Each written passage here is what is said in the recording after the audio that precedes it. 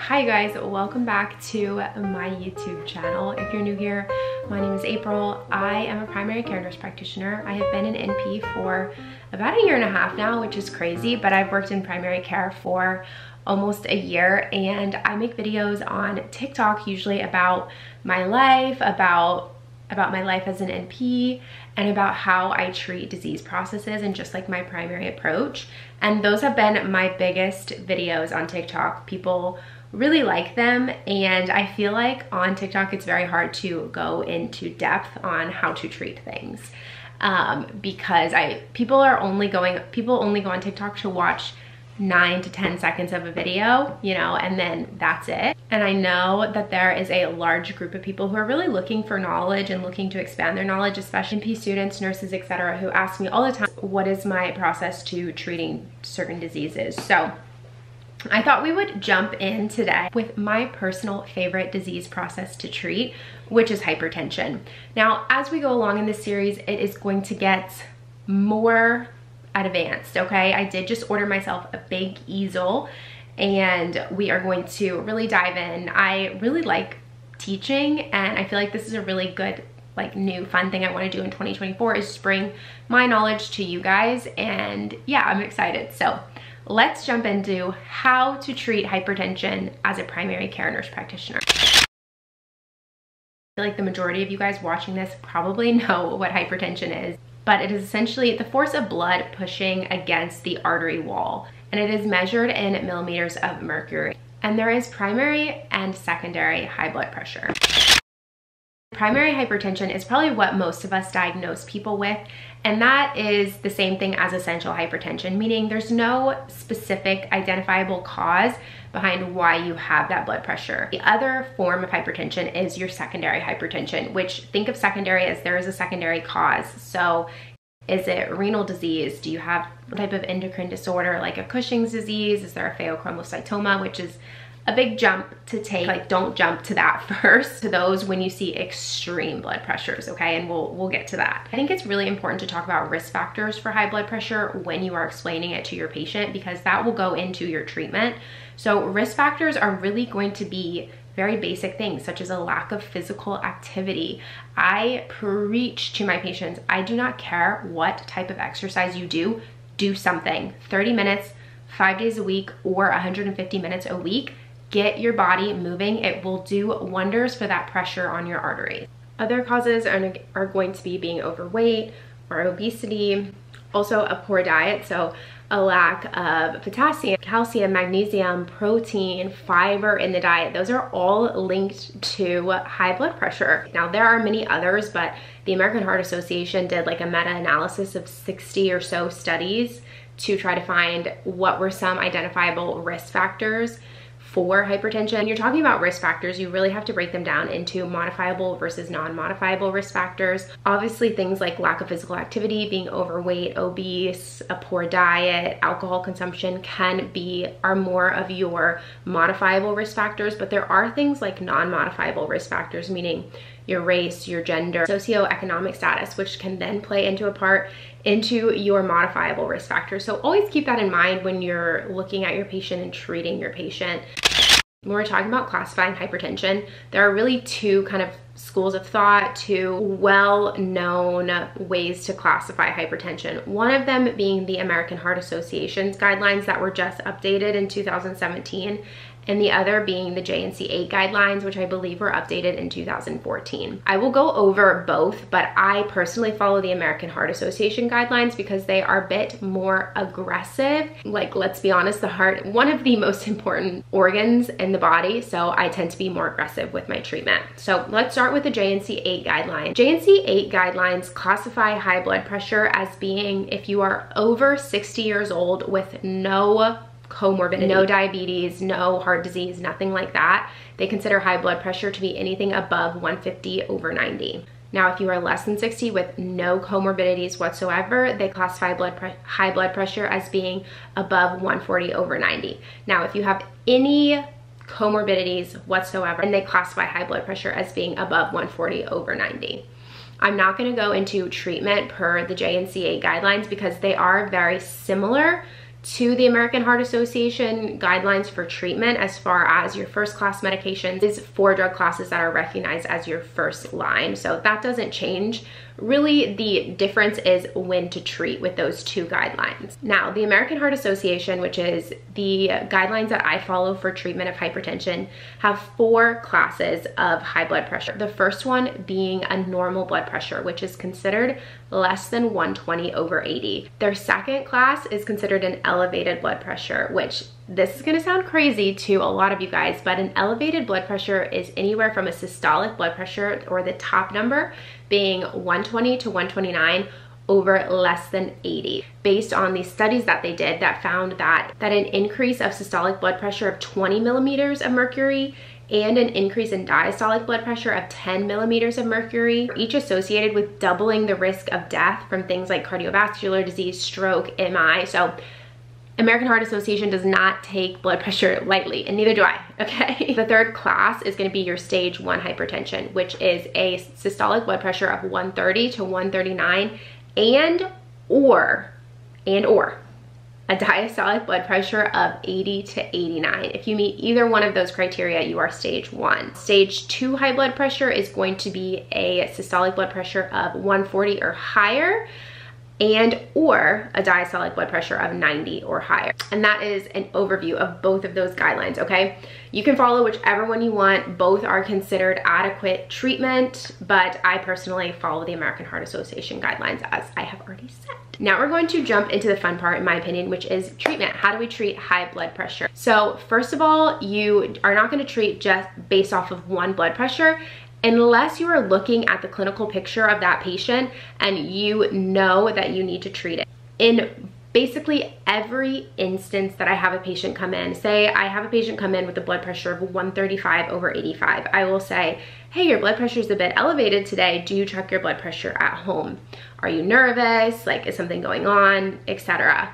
And most people will be like, yes, I'm nervous. Everybody's nervous when they go to the doctor, okay? And blood pressure is very labile, so it can flow and ebb and change, but we just need to see, is this what your blood pressure is all the time or is this just when you come to see me? Usually if somebody comes in with a blood pressure like that, I will say, here, I'm gonna give you a blood pressure log. I want you to get a blood pressure cuff from Amazon and I want you to check your blood pressure twice a day, every day for one week and bring this log back to me in two weeks.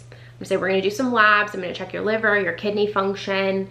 Um, I'm gonna check your thyroid. I'm gonna check all of these things to make sure I'm not identifying a secondary hypertension, but I really need you to monitor your blood pressure at home. I have had a few instances where people come to me, first time, new patient, establishing care, blood pressure 170 over 90. Comorbidities present, we're starting blood pressure medication today, okay? I'm not waiting. That is really where you have to look at your clinical picture and decide how you're treating each individual patient, okay?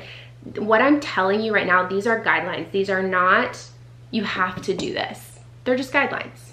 Technically, guidelines say that you should treat a high blood pressure that you have identified after two in-office readings, but home readings are I always want home readings. The American Heart Association has a outline, a nice little diagram of when to treat, what to treat. I will either insert it here, just a picture of it, put a link down below so you guys can also so look at it. But anyway, you have somebody come in with a normal blood pressure, which we have classified. You are going to just repeat it in a year, have them come in for an annual physical once a year say you have somebody come in with a elevated blood pressure, meaning that their blood pressure is 120 to 129 over less than 80, that you are gonna talk about lifestyle, okay? What are you doing? What are you eating? What type of physical activity do you do?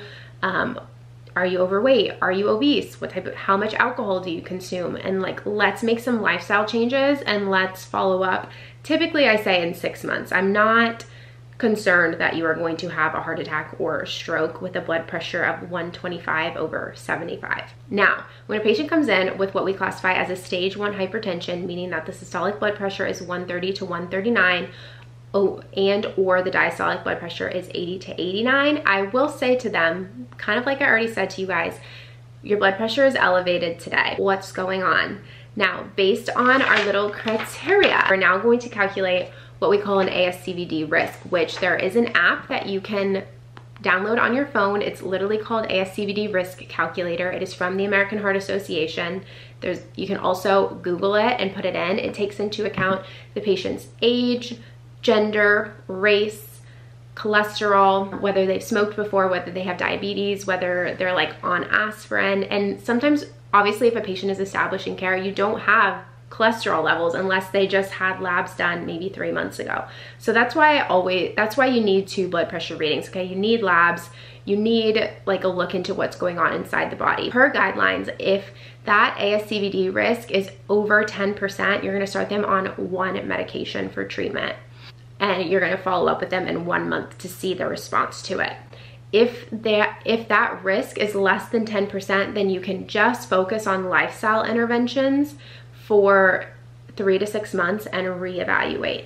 That is typically what I do unless you have somebody with like smoking or diabetes, which a lot of times with diabetes, they will already be on an ACE or an ARB for blood pressure treatment because it is kidney protective. Now, stage two hypertension, which we have classified as a blood pressure of 140 over 90 or higher and or I start blood pressure medication then after I get two readings with some home confirmations as well. Now let's get on to medications. There are four drug classes that are seen as your first line hypertension treatment. The first one is gonna be thiazide diuretics. So think hydrochlorothiazide, chlorthalidone. The next up is gonna be angiotensin receptor blockers, which are ARBs, anything that ends in artin. So losartan, valsartan, candesartan. The next is gonna be your angiotensin converting enzymes, which are your ACEs, anything that ends in pril, lisinopril, captopril, ramipril, anything that ends in pril. Then the last drug class is going to be your calcium channel blockers. Now, calcium channel blockers are actually classified into two drug classes from there, dihydropyridines and your non-dihydropyridines. Your non-dihydropyridines are going to be like diltiazem or verapamil, and those are really good for heart rate control. Your dihydropyridines are gonna be things like nifedipine and amlodipine, which are better for like arterial blood pressure. Whenever I'm working with hypertension, I'm picking my dihydropyridines over my non-dihydropyridines. When you are picking a blood pressure medication, it is of utmost importance that you are looking at the patient in front of you and their clinical picture. You need to take into account their race, their socioeconomic factors, their lifestyle, their job. If you are dealing with a mom who has pelvic floor issues, I wouldn't go with a thiazide diuretic first off. If I am dealing with somebody who already has the comorbidity of diabetes, I'm always picking an ACE or an ARB over a thiazide diuretic or a calcium channel blocker because those are known to be renal protective. And then if I have somebody who is black or African American, I will typically pick a calcium channel blocker first. Research has shown that they are more effective on the black population. Now there are other medications that people will choose to go with um, that are not necessarily in your first line if they have if you have comorbidities and they're trying to treat two things instead of one so one of really common ones is beta blockers beta blockers are really for are really for heart rate control but if somebody has anxiety or they have some tachycardia as well with high blood pressure then maybe you would want to pick a beta blocker over an ACE or an ARB or a calcium channel blocker. There are also medications called alpha blockers that we use a lot for people who have for men who have BPH um, or can even be used like prazosin is used a lot for people who are on sertraline because it can help with night terrors from sertraline. So, you know, if you have somebody on sertraline and they're complaining of night terrors and they also have a high blood pressure, maybe try a, praz a prazosin, you know? when like it really comes into play being a good clinician and really looking at your patients and not just like following these guidelines and saying this is this is what I do and I don't defer from the guidelines. Um, guidelines are just that. They are a way to show you where to go, but they don't necessarily have to be followed to a T. Anyway, I hope you guys enjoyed that video. This was this was super fun for me. I love hypertension. I love talking about hypertension. I love educating people on hypertension. It's probably 60% of what I do on a daily basis. If there's any other specific topic that you guys want me to cover, leave a comment down below of what you want it to be. I was thinking my next one might be diabetes, but that is a long video, but super interesting. I actually love treating diabetes now. It's something that I was terrified of as a new grad, and I really enjoy treating now. I have lots of ideas on what to go next, but I don't necessarily know what you guys want. So let me know if you enjoyed this. Let me know what you want me to do next, and I will see you in the next video. Bye guys.